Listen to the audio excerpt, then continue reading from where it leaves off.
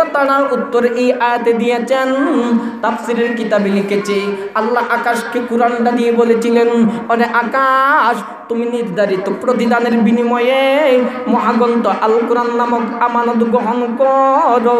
আকাশ বলেছিল, ও আল্লাহ, যদি আমি এই মহাগ্রন্থ আল কোরআন নামক আমানতটা গ্রহণ করি।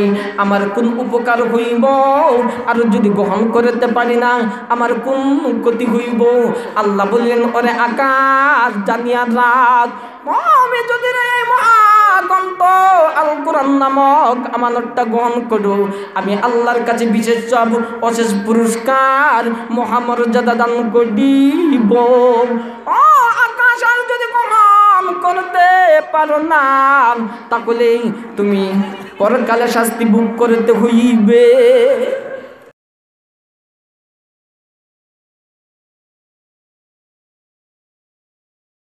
আসসালামু আলাইকুম রহমতুল্লাহ বরকাত হামিদা ওয়া মুসাল্লিয়া أما بعد فأعوذ بالله من الشيطان الرجيم. بسم الله الرحمن الرحيم. إنا عرضنا الأمانة على السماوات والأرض والجبال. والجبال فأبين أن يحملنها وأشفقن منها وحملها الإنسان. إنه كان ظلوما جهولا. وقال النبي عليه الصلاة والسلام خيركم من تعلم القرآن وعلمه. صلى الله على سيدنا ومولانا محمد وعلى آله وأصحابه وبارك وسلم. صلى الله على سيدنا ومولانا محمد وعلى آله وأصحابه وبارك وسلم উপস্থিত চলমান অধিবেশনের জনাব সভাপতি সাহেব উপস্থিত দিন দরদি মুসলমান বাইসন পর্দার আড়ালের পর্দানিসীন মা ও বোনারা আসলে বাইজান না জানি কোন বিয়াদবি হয়ে যায় সলতাতলা হুজুরও উপস্থিত, বানিয়া সঙ্গে হুজুরও উপস্থিত। কাজেই আপনারা যারা এখনও বাড়ি ঘরে রয়েছেন, চলে আসেন। আমি মাত্র একটা কথা বলব। বলার আগে আপনাদের বসাটা সুন্দর ভাবে বসেন। আপনারা পিছনে যারা আছেন, আগেই আসেন। ইনশাআল্লাহ এলাকার মধ্যে যত আলোচনা করছি, কোনো প্যান্ডেলও দেখছি, জায়গা হয় না। সম্ভবত এখানেও জায়গা হবে না। আপনারা আগেই হুঁশিয়ার হয়ে সামনের দিকে আসেন। এক মিনিটের ভিতরে বাই বসার ডিজাইনটা সুন্দর করেন। আসলে আপনাদের মর্যাদা অনেক বেশি। একটা মন্ত্রী আর মিনিস্টারের চেয়ে আপনাদের মর্যাদা হইল বেশি। এটা আবার কেমন করে? একজন মন্ত্রী আর মিনিস্টার যদি এই মঞ্চে আসতো, তাহলে চতুর্দিকে নিরাপত্তা বাহিনী বেষ্টন করিয়া রাখতো। নবীজির হাদিসে এসেছে, এরকম ওয়াজ মাহফিলে দিনই আলোচনায় যখন মানুষ আসিয়া বসে, চতুর্দিকে নূরের তৈরি পেরেস তারা বেষ্টন করে, শুধু বেষ্টনই করে না, একজনের উপর একজন একজনের উপর একজন এরকমভাবে আল্লাহর আকাশ পর্যন্ত চলে যায়। জুড়ে বলেন সুবাহান আপনাদের আওয়াজে বোঝা যায়, এখানে মাহফিলি হয়ে না। আওয়াজ দিবেন কারণ শুধু আপনাদের এলাকায় না, সব জায়গায় কোরআন, হাদিসের আলোচনা হয়। এর কারণটা কি? একটি কারণ, পৃথিবীর মানুষ জানে শান্তির রাজধানী, শান্তির পেট্রোলি শান্তির ঠিকানা, শান্তির বাড়িঘর একমাত্র আল কোরআন ঠিক কিনা তাহলে এই কোরআনের বিরুদ্ধে যারা কথা বলে এদের একটা কারণ কোরআনকে বানিয়ে দিব জিরো আমরা হয়ে যাইব কিডো আমরা বলি না তুমি কখনো কোরআনের বিরুদ্ধে কথা বলে হিরো হইতে পারবে না। কোরআন হিরো ছিল হিরোই থাকবে। তুমি জিরো ছিলে আরও জিরো হবে ঠিক কি না? কারণ ইতিহাসের পাতা আজও মুছে নাই।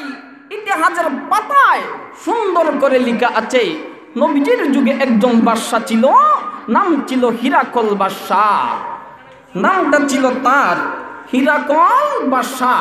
সে পাঁচজন মুসলমানকে, নবীজির সাহাবিকে বন্দি করে নিয়ে গেল। এই খবরটা কালিদ ইবনে অলিদের কানে গিয়ে পৌঁছলো কালিদ ইবনে অলিদ আসিয়া বলে অগনবীজি হীরাকল বাদশার সৈন্য বাহিনী কয়জন? নবীজি বলেন, কালিদ, তাদের সৈন্য হলো ষাট হাজার। ও নবী ষাট হাজার নয়, আমাকে মারত ষাট জন জানবাজ মুজাকি দিয়ে দেন অগনবীজি আমি হীরাকল বাসার কাছ থেকে তাদেরকে উদ্ধার করে নিয়ে আসিব। নবীজি বলেন খালি তুমি কি জানো না? তাদের সংখ্যা হচ্ছে ষাট হাজার, আর তুমি বলছো ষাট জনই যথেষ্ট? কালিদ বলে, নবী ষাট হাজারের মোকাবেলায় আমরা ষাট জনই যথেষ্ট। কাজেই প্রেরণ করে যখন দিলেন, তখন ষাট জন সঙ্গে নিয়ে হীরাকল বাদশার রাজমহলের সামনে গেটের সামনে পঁয়তাল্লিশ জনকে দাঁড় করাইয়া, মাত্র পনেরো জনকে নিয়ে গেটের ভিতরে ঢুকলেন। ঢুকার পরে যখন দরজার সামনে গেলেন, তখন তিনজনকে বললেন, তোমরা এই দরজার সামনে তাকো আমরা দুইজন। পনেরো জনের মধ্যে বারো জনকে বললেন, তোমরা দরজার সামনে তাকো আমরা তিনজন বাসার রাজমহলে ঢুকি। বাদশাহ যেই ঘরে তাকে যেই রুমে তাকে সেই রুমে ঢুকিয়া মারত তিনজন মুজাহিদ, খালিদ ইবনে অলিদ সামনে আরও দুইজন। তখন বলতেছে বাদশাহ কি? আমাদের সাথীদেরকে পিরত দিয়ে দে। বাদশাহ বাঁকা চৌকে তাকিয়ে বলে, খালিদ, তুই কি এত বিয়াদব? বাদশার সামনে কীভাবে কথা বলতে হয় সেইটাই কি শিখিস নাই? খালিদ বলতেছে বাদশাহ যা শিকার মোহাম্মদুর রাসুল্লাহর কাছ থেকে শিখেছি, তোমার কাছে শিকার প্রয়োজন নাই, তুমি দিবে কি না? তখন খালিদ বাদশাহ বলতেছে বিয়াদম, জল্লাদকে ডাক দিয়ে বলল, জল্লাদ, তাকে উত্তম মাধ্যমের মধ্যে তাকে চরিত্রটা ভদ্রতা কীভাবে কথা বলতে কই বাদশার সামনে সেটা শিক্ষা দেই। তখন খালিদ বলল বাদশাহ তুমি কি জানো তোমার তলোয়ার জল্লাদের তলোয়ার আমার উপরে আসার আগে আগেই আমি তোমার গরদান মাটিতে ফেলে দিব। আর রস্তে কইন তখন কালিদ বলে বাদশাহ জেনে রাত পার জল্লাদের তোমার আমার গরদানে লাগার আগে আগে আমি তোর গরদানটা মাটির মধ্যে ফেলে দিব। যুদ্ধ চলতেছে, তুমুল যুদ্ধ। তলোয়ার জুঙ্কার করে উঠছে, জনজন ডাকতেছে। ডালের মধ্যে তলোয়ার লাগে জুঙ্কার করে উঠে, কিন্তু খালিদ বিন ওলিদ এত যুদ্ধ করিল। যুদ্ধ করতে করতে একজন মারা যায়, পাঁচজন মারা যায়, দশজন মারা যায় সতেরো জন সৈন্য মারা গিয়েছে। বাসা বলে তামো মাফ করে দাও মাফ করে দাও। তোমার পাঁচজনকে তুমি নিয়ে যাও। তোমার পাঁচজনকে তুমি নিয়ে যাও। আরেক যুদ্ধে, কারণ আয়াতেও ডুবতে হবে। আরেক যুদ্ধে আবদুল্লাহ ইবনে মারুজি বলতেছে, আমাদের তো কোনো বিজয় আসে না, আমরা শুধু পরাজিত কই। কি হইল আমাদের?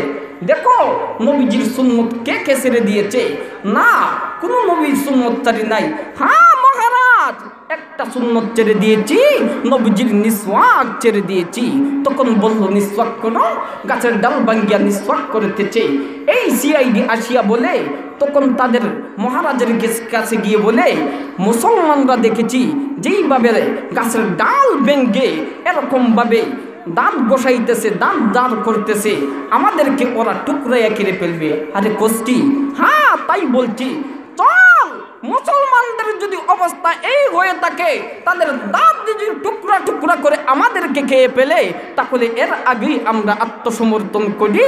বিনা যুদ্ধে যুদ্ধ জয় জুড়ে বলেন সুবাহাদাল্লাহ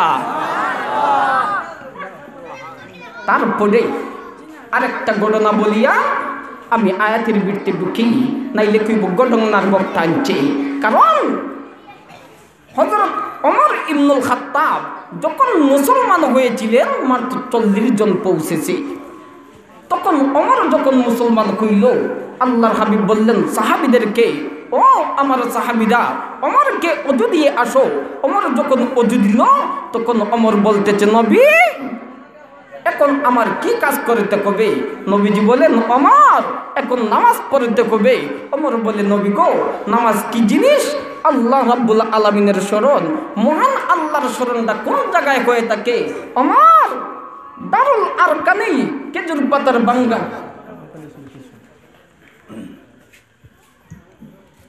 দারুল আর কানেই খেজুর পাতার বাঙ্গা চূড়া ঘরের মধ্যে আমরা পড়ি।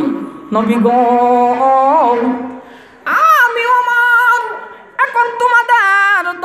এসেছি এখন কোথায় পড়িবেন আমার বিশ্ব নবীজি বলেন, ও আমার, একটু আগে তুই আমার তলোয়ার নিয়ে এসেছ, আমার গর্দান উড়াইয়া দিবে, এখন বলস কোথায় পড়িব। অমর ডাক বলে অগনবীজি আমি যাইব আপনি আমার পিছনে আসিবেন? অগণবিজি, দেখিব কে আপনাকে? আপনার নামাজের রাস্তায় বাধা দান করে। সুবাদান বলতেন না। মুসলমান হয়েছে। আমার হুঙ্কার দিয়ে বলে, নবী, দেখব কে আপনাকে নামাজের রাস্তায় বাধা দান করে? অমর আবু জাহিলের ঘরে গিয়ে টুমকি দিয়েছে। আবু জাহিল বলে, চুপ করে চুপ করে। অমর মনে করে মোহাম্মদের মাথাটা কেটে নিয়ে আসছে। জুড়ে বলেন নাউজুবিল্লাহ। অমর ডাকতে বলে, ও আবু লাহা ওরে আবু জাহেল, ও উদ্মা সাইবা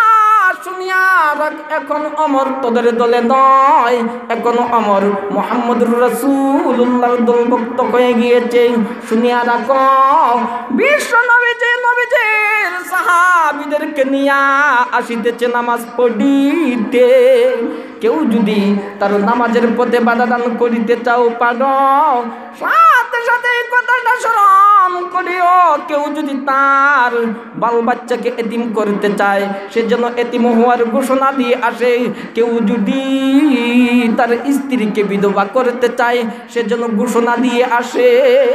সে যত ঘোষণা দিয়ে আসে, মার তো ইসলাম চল্লিশে পৌঁছেছে। মুস- মুসলমানদের এত হুমকার অমর, এই কোরআনকে গ্রহণ করার কারণে এত দাম হয়ে গিয়েছে। ফুরাত নদীর পানি শুকিয়ে গিয়েছে। অমরের কাছে আসিয়া লোকজন বলতেছে আমরা দুর্ভিক্ষে পড়ছি। পুরাত নদী শুকিয়ে গিয়েছে, পানি এনে দাও। সিটি দেখলেন, ও পুরাত নদী, তুমি যদি আল্লাহর আদেশে প্রবাহিত কও তাহলে এক্ষুনি প্রমাণ হয়ে থাকো। আর যদি তোমার ব্যক্তিগতভাবে, তোমার আদেশে তুমি চলো, তোমার প্রাণের কোনো প্রয়োজন নাই। এমনভাবে ফুরাত নদীর প্রাণ প্রবাহিত করল আজ পর্যন্ত শুকায় নাই। এমনকি ভূমিকম্পন আরম্ভ হয়ে গিয়েছে। অমর ডাকতে বলে, ওই জমিন তাম! তোর ভিতরে কি আমি ন্যায় ইনসাফ প্রতিষ্ঠা করি নাই, এই বলিয়া জমিনের মধ্যে লাঠি দিয়ে সামক দিয়ে এমন আঘাত করলেন ভূমিকম্পন তামিয়া গিয়েছে। মক্কা মদিনায় আজও ভূমিকম্পন হয়ে নাই। এখন কোরআনের সাথে যারা সম্পর্ক করে, ইসলামের সাথে যারা সম্পর্ক করে, এদের দাম বেশি না কম? কিন্তু কোরআনের বিরুদ্ধে যারা কথা বলে, এদের পরিণত কি হইবে? ওরা যারা ইসলামের সাথে সম্পর্ক করে অমরের মতন দামি হইবে, আর যারা কোরআনের বিরোধিতা করে, ওরা বুশের মতন জুতার বাড়ি খাইবে, ঠিক কিনা? কিন্তু আজকের মাহফিল থেকে আমরা বাংলাদেশের সরকারকে জানাইতে চাই, রাশেদ খান মেনুনকে আপনি শীঘ্রই ওদেরকে উচিত বিচার করতে হবে। ও আলিম কাছে মাপ চাইতে হবে, কারণ কমি মাদ্রাসাকে বিষপুরা বলেছে। আলিম উলামার মিছিল বৈঠককে আলিম উলামা সমান আলিম তন, আলিম উলামাতন্ত মোল্লা তন্ত বলেছে। এমনকি আহমদ শফিকে নিয়ে কটুক্তি করেছে কমি মাদ্রাসাকে নিয়ে কটুক্তি করেছে। আমরা আজকের মাহফিল থেকে বলতে চাই ও আমাদের নেত্রী শেখ হাসিনা, যারা কোরআনের বিরুদ্ধে কথা বলে, তাদের মুখ আপনি বন্ধ করুন। না কই এই জাতি বেশি দিন চুপ থাকবে না, ঠিক কিনা? কিন্তু এই জাতি বেশি দিন চুপ থাকবে না। অচিরেই আহমদ শফির কাছে প্রকাশ্যভাবে কমার ঘোষণা করতে কবে না হয় কিন্তু কারবালার ময়দান আরেকটা কবে ঠিক কিনা? কারণ আমরা কোরআনকে মহাব্বত করি। কোরআনের সাথে যারা সম্পর্ক করে, আমরা তাদেরকে মহাব্বত করি, আমরা মসজিদকে মহাব্বত করি, মসজিদের সাথে যারা সম্পর্ক করে, তাদেরকে মহাব্বত করি। সুতরাং যারা মসজিদের বিরোধিতা করে, আলিম উলামার বিরোধিতা করে মার্গদশার বিরোধিতা করে, আমরা ঘরে বসে আমরা আঙ্গুল চষব না। তাদেরকে এই জমিন থেকে তাড়ানোর চেষ্টা করব ইনশা আল্লাহ ঠিক কিনা? আল্লাহ বলেন, এই কোরআন সম্পর্কে إنا عرضنا الأمانة على السماوات على السماوات والأرض والجبال. والجبال فأبين أن يحملنها وأشفقن منها وحملها الإنسان. আল্লাহ বলেন, আমি আল কোরআন নামক আমানতটা আকাশকে দিতে চেয়েছিলাম, জমিনকে দিতে চেয়েছিলাম, পাহাড়কে দিতে চেয়েছিলাম।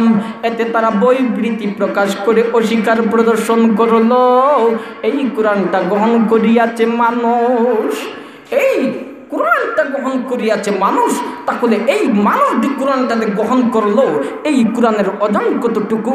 আল্লাহ বলেন لو أنزلنا هذا القرآن هذا القرآن على جبل لرأيته خاشعا خاشعا متصدعا من خشية الله الله বলেন ও পৃথিবীর মানব অগণবিজি ও পৃথিবীর মানব। লাউ আনজালনা হাদাল কুরআন। যদি আমি এই কোরআনটা পাহাড়ের ওপর নাজিল করিতাম, তাহলে গণবিজি আপনি দেখিতেন ও পৃথিবীর মানব তোমরাও দেখিতে পাইতে, পাহাড়টা রেজা রেজা পৃথক পৃথক হয়ে আল্লাহ আলামিনের পরে পাহাড়টা রাজা রাজা দবা দবা, পৃথক পৃথক, রুই রুই হইয়া পরি উড়িয়া যাইত। আল্লাহ বলেন, এত অসম্মানিত কোরআন, আমি যদি আকাশের ওপর নাজিল, পাহাড়ের ওপর নাজিল করিতাম, পাহাড় একেবারে দুরিসাত হয়ে যাইত, তাহলে এত অসম্মানিত কোরআন আকাশও গ্রহণ করল না, জমিনও গ্রহণ করল না, পাহাড়ও গ্রহণ করল না ইবলিশ শুধু আদমকে সেজদা করল না, ও রবগ্রস্ত হয়ে গেল চির বিতাড়িত হয়ে গেল, এই পাহাড় আকাশ, জমিন, এরা কেন? আল্লাহ রাব্বুল আলমিনের দরবারে চির বিতাড়িত হইল না। এই কেন হইল না? এগুলো জিন্দা না মৌদা? জিন্দা থাকলে তো জিন্দা মানুষের সাথে কোনো কথা থাকে না। লাশ মানে লাশাই আ এটা কোনো কামেরই না। কারণ মৌদা যদি হয় তাহলে এটা কোনো কামেরই না। আকাশ, জমিন, পাহাড়, এগুলো জিন্দা দা মৌদা। আল্লাহ বলেন يسبح له ما في السماوات والأرض আসমান এবং জমিনের মধ্যে যা কিছু আছে সবই আল্লাহ রাব্বুল আলামিনের তাসবিহ পড়ে ولكن لا تفقهون تسبيحهم يسبح له ما في السماوات وما في الأرض ولكن وإن من شيء إلا يسبح بحمده ولكن لا تفقهون تسبيحهم আল্লাহ বলেন পৃথিবীর মানব আমার আকাশে যেমন আমার প্রশংসা করে আমার জমিনেও তেমন আমার প্রশংসা করে আমার চতুষ্পর পানিগুলো যেমনভাবে আমার প্রশংসা করে, পাখিগুলো আমার প্রশংসা করে, আসমান যেমন প্রশংসা করে, নদ, নদী, পাহাড়, পর্বত, বৃক্ষ, তরুলতা, গাছপালা, এগুলো আমি আল্লাহর প্রশংসা করে। ও প্রশংসা করো। আমি আল্লাহর তাসবিটা পড়ো তার পায়ে জানোয়ারগুলো আমি আল্লাহর তাজবি পড়ে দেই কিন্তু আলা কিল্লা তাফকাহু না তাসবি হাগুম তুমি তাদের কথাগুলো তাসবিগুলো শুনো না, শুনলেও বুঝো না। আল্লাহ বলেন, সব কিছুই আমি আল্লাহর প্রশংসা করে, কিন্তু তুমি শুনো শুনলো কিন্তু বুঝো না। তাহলে এইগুলো জিন্দা না মৌদা। আর রস্তে কইন জিন্দা না মৌদা। জিন্দা। তাহলে এইগুলো কেন প্রভ্রষ্ট হইল দা? ইংলিশকে বললেন উসজুদুলি আদম। আদমকে সেজদা করে? সে সেজদা করল না। আবা ওয়াস্তাকবারা ওয়া কানা মিনাল কাফিরিন। সে কাফেরদের একজন হয়ে গেল। অথচ আসমান জমিন এগুলো কেন হইল না আল্লাহ বলেন إنا ردنا الأمانة على السماوات على السماوات والأرض والجبال والجبال فأبين أن يحملنها وأشفقن منها وحملها الإنسان الله বলেন ও পৃথিবীর মানব আল্লাহ। এই কথাটার উত্তর এই আয়াতে দিয়েছেন। তাফসিরের কিতাবে লিখেছে, আল্লাহ আকাশকে কোরআনটা দিয়ে বলেছিলেন অরে আকাশ, তুমি নির্ধারিত প্রতিদানের বিনিময়ে মহাগ্রন্থ আল কোরআন নামক আমানত গ্রহণ করো। আকাশ বলেছিল, ও আল্লাহ, যদি আমি এই মহাগ্রন্থ আল কোরআন নামক আমানতটা গ্রহণ করি। আমার কোন উপকার হইব? আর যদি গ্রহণ করতে পারি না, আমার কোন ক্ষতি হইব? আল্লাহ বললেন, ওরে আকাশ জানিয়া রাত। আমি যদি রে মহাগ্রন্থ আল নামক আমানতটা গ্রহণ করো। আমি আল্লাহর কাছে বিশেষ সব অশেষ পুরস্কার, মহামর্যাদা দান করিব। ও পারো না। তাহলে তুমি পরকালে শাস্তি ভোগ করতে হইবে। তাহলে পরকালে গভীর শাস্তি ভোগ করতে হইবে। তবে এটা তোমার এখতিয়ার। তুমি ইচ্ছা করলে করতে পারো। আর যদি না করো, তাহলে কোনো অসুবিধা নাই। আকাশ বলিল অগ আল্লাহ, আমি পরকালে গভীর শাস্তি পাব।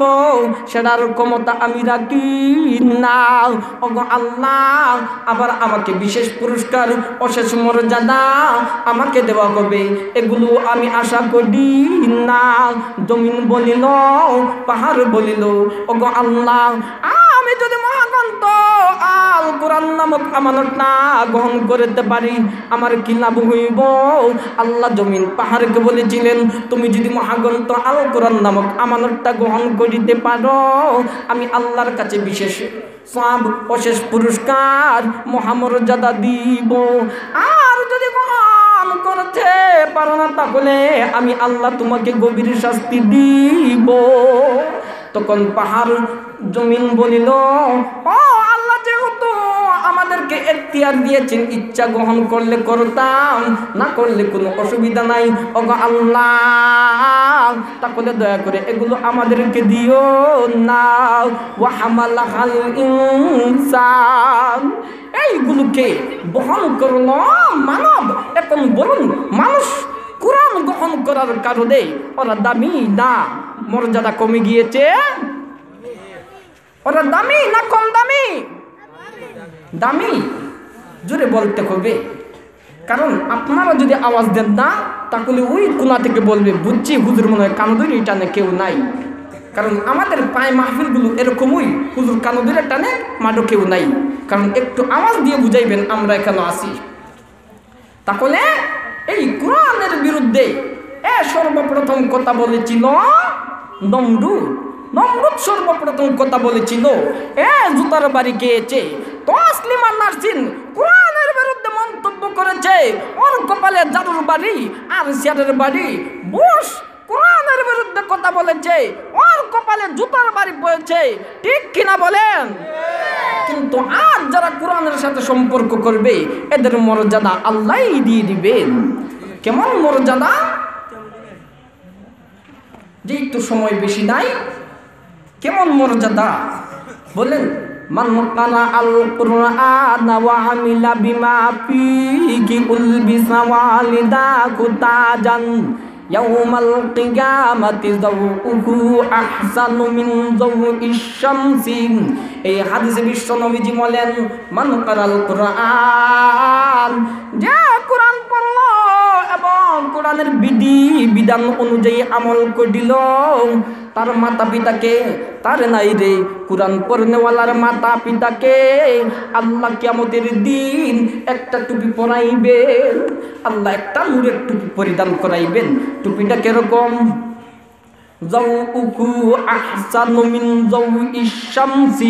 এই টুপিটা কইল সূর্যের কিরণের চেয়ে তার কিরণ আরও উজ্জ্বল। এই কিরণটা কল? উগু আহসানু মিন যাও ইশামসি কেমন উজ্জ্বল? লাউ কানাত ফিকুম বিল্লাদি আমিলা। বিশ্ব নবীজি বলেন, ও উম্মত, মনে করো তোমাদের ঘরের মধ্যে একটা সূর্য আছে। ও আমাদের তোমাদের ছেলে, মেয়ে যেমন ভাবে তোমাদের ঘরের মধ্যে থাকে, তেমন ভাবে এই সূর্যটা যদি থাকে কেমন কইব? বিল্লাদি আমিলা বিহাদান বিশ্ব নবীজি বলেন, ও উম্মত রে কম্মল এখন তোমরাই ধারণা করো, তার যে এই অনুযায়ী আমল করে তার মর্যাদা কতটুকু? এই বুনাসটা দিবেন, কারণ যারা কোরআন পড়ে তার অনুযায়ী আমল করে এই ব্যক্তির মাতা পিতাকে আল্লাহ এই টুপিটা পরাইবেন। আল্লাহ এই টুপিটা পরিধান করাইবেন। ওই ব্যক্তির মাতা পিতাকে যে কোরআন পরে কোরআনের অনুযায়ী আমল করে, তার মাতা পিতাকে কেয়ামতের দিন আল্লাহ হাসরের ময়দানে নূরের একটা টুপি পরিধান করাইবেন। আরেক হাদিসে এসেছে। এই হাদিসটা বললেই এক মিনিটে শেষ। একজন আলিমকে আল্লাহ বাহাত্তরটা টিকিট দিবেন, দিয়া বলবেন, আরেক হাদিসে এসেছে, আল্লাহ একজন আলিমকে অসংখ্য অগণিত মানুষ তার দ্বারা জাহান নাম থেকে জান্নাতে নিয়ে যাইবেন। এটা কেমন করে? বাহাত্তরটা টিকিট দিবেন, দিয়া বলবেন, ওই মিয়া, তুমি তোমার আত্মীয় স্বজন থেকে যারা জাহান্নামি তাদেরকে জান্নাতে নিয়ে যাও। ও কুজিয়া চাষা নানা দাদা এগুলোকে বাহির করবে। করিয়া তখন ওই আলিম যখন জান্নাতে রওনা হবে, জান্নাতে রওনা হওয়ার জন্য পিছনের দিকে একজন ডাকতে বলবে, বাতি যান। তখন এসে বলিব, কে রে? ও বাতি যা আমি তোমার মামার বন্ধু ছিলাম। তুমি কোথায় যাও? আমি জান্নাতে যাই তোরটা টিকিট নিয়ে। বাবা রে, আমাকে নিয়ে যাও না। ওই লোকটা বলবে বাইরে তেউত্তরটা টিকিট যদি দিতে, তাহলে তোমাকে নিয়ে যাইতাম। কিন্তু আল্লাহ তো বাহাত্তরটা টিকিট দিয়েছেন। এরকমভাবে কিছুক্ষণ পর ডাকতে বলবে, হুজুর, বুঝতে আর বেশি সময় বাড়ি নাই, দেরি নাই। ও আমার লজিং বাড়ির। তখন বলবে, তুমি কে? বলে, আমি তোমার লজিং বাড়ির লাগাগরের ছিলাম। তোমাকে আমি মোহাম্মত করতাম। আমাকে নিয়ে জান্নাতে যাও না। বলবে, না, আল্লাহ বাহাত্তরটা টিকিট দিয়েছেন। একজনকে বেশি নিয়েছি। তোমাকে আমি পারব না। এরকমভাবে এরকমভাবে নীতি নিতে অসংখ্য মানুষ নিয়ে যাবে। আল্লাহ বলিবেন, ওই বন্দা তোকে আমি বাহাত্তরটা টিকিট দিয়েছিলাম। তুই এত সব মানুষকে নিয়ে তুই কেন জান্নাতে চলে যাচ্ছিস? তখন বন্দা ডাক দেওয়া বলবে, আল্লাহ, আমি দুনিয়াতে এলিম শিক্ষা করার জন্য আমি লজিং বাড়িতে ছিলাম। সে আমাকে আদর করতো। সে আমার লজিং বাড়ির লাগা ঘরের লজিং বাড়ির সামনে একটা দোকান ছিল। সে হইল এই দোকানের ও এ আমার মার বইনারি আমার ছোট ভাইয়ের বন্ধু, এ আমার বড় ভাইয়ের বন্ধু, এ আমার লজিং মাস্টারের বন্ধু। এরকমভাবে অসংখ্য অগণিত মানুষ যখন নিয়ে যাবে, তখন বলবে, আল্লাহ জান্নাতের পার পর্যন্ত নিয়ে আসাও। আমি জান্নাতের পার পর্যন্ত নিয়ে আসিলাম। আল্লাহ, আমি আমার বাউত্তনকে নিয়ে আমি জান্নাতে চলে যাই। আপনি আপনার বন্দাগুলোকে কি করবেন? আপনি জানো ওই ব্যক্তি তখন আল্লাহ তখন ডাকদা বলবেন অরে দুনিয়ার আলিম আমি তোরে দান করেছিলাম, দুনিয়ায় আলিম বানাইছিলাম তোকে আমি সম্মান দান করিয়াছিলাম। তোরে আমি দুনিয়ায় সম্মান দান করিয়েছি আজ তোকে অপমান করিব না। তোকে আরও আমি অপমান করিব না। যা অসংখ্য অগণিত মানুষকে লইয়া তুই জান্নাতে চলে যা। এখন আপনারা জান্নাতে যাইতে চান। একা একা না আলিমদেরকে নিয়ে আরও জোরে কোন, তাহলে একটু টেস্ট করিয়া দেখি। কারণ বন্যা সঙ্গী হুজুর আসুন, আবার চলিতা তলার হুজুর আসুন। হুজুর এখনই বয়ান করবেন।